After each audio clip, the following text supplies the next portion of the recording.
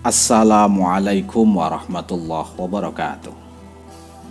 Para sahabatku sekalian, ngeyelan atau tidak mau mengalah dan inginnya menang sendiri adalah penyakit hati yang sulit diobati.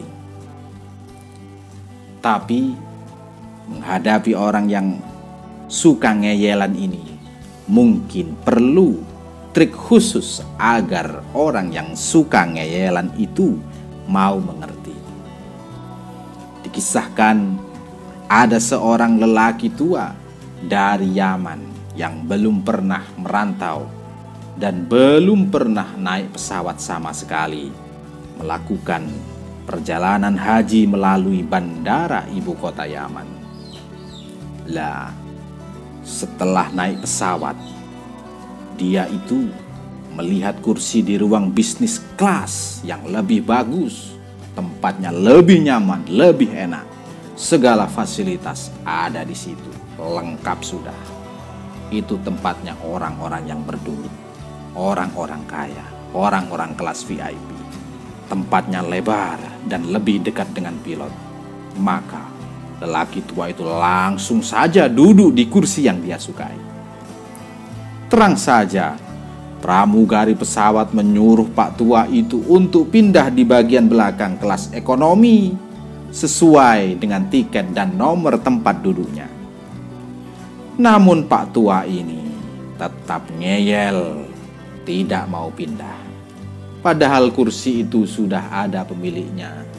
Sudah berkali-kali dia dibujuk oleh pramugari, bahkan sampai sang pilot pun itu turun tangan untuk memindahkan penumpang ini ke belakang. Namun tidak ada hasilnya.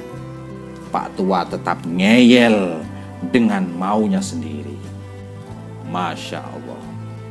Lah ini untung saja ada salah satu penumpang yang berinisiatif mendekati Pak Tua itu dan mengatakan sesuatu di telinga orang tua itu.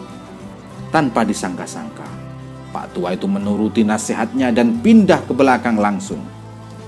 Beberapa penumpang, termasuk pilot pramugari, jadi heran dan bertanya kepada pemuda yang menasehati tadi Oh, bro, nasihat apa yang telah engkau bisikkan kepadanya? Kok sampai diturutin? Padahal pilot dan pramugari pun susah menasehatinya, susah untuk menyuruhnya pindah. Dia pun menjawab, "Oh, mudah. Tadi saya hanya bilang, Pak, untuk yang mau naik haji itu duduknya di belakang. Kalau yang bagian depan itu yang mau pergi ke Mesir."